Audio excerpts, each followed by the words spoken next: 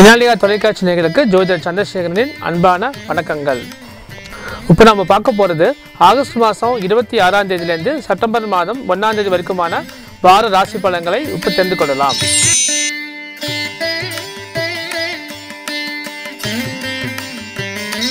உச்சிக ராசியில் பிறந்தவங்களுக்கு ஏற்கனவே ஏழரை சனி ஜென்மச்சனியுடைய காலகட்டங்கள் வந்து இப்போ போயிட்டு இருக்கு. எந்த காரியம் எடுத்தாலும் தடங்கல்கள் வந்துட்டு இருக்கும். உங்கள் ராசிக்கு அதிபதி வந்து செவ்வாய்.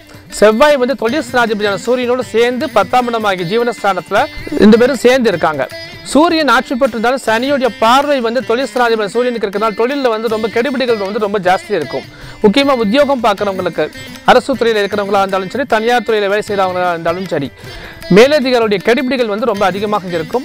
உத்தியோகம் பார்க்குறத டென்ஷன் வந்து ரொம்ப அதிகமாக இருக்கும். உங்களுக்கு வந்து கடினமான உடல் உழைப்பு வந்து தேவைப்படக்கூடிய ஒரு காலகட்டமாக இருக்குது உடல் உழைப்பு இருக்குமே தவிர அதுக்கு ஏற்ற மாதிரி லாபங்கள் வந்து கிடைக்கிறது கொஞ்சம் கஷ்டமாக தான் இருக்கும்.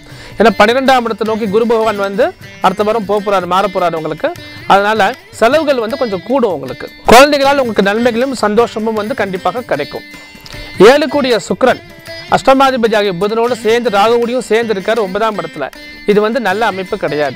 குடும்பத்தை வந்து கணவன் மனைவிக்குள்ள கருத்து வேறுபாடுகள் கொஞ்சம் சண்டை சச்சரவுகள் இது வந்து கண்டிப்பாக இருக்கும். மேலும் வரும் வாரத்திற்கான ராசி பலன்களை தெரிந்து கொள்ள மினாலிகா தொலைக்காட்சியுடன் இணைந்திருங்கள்.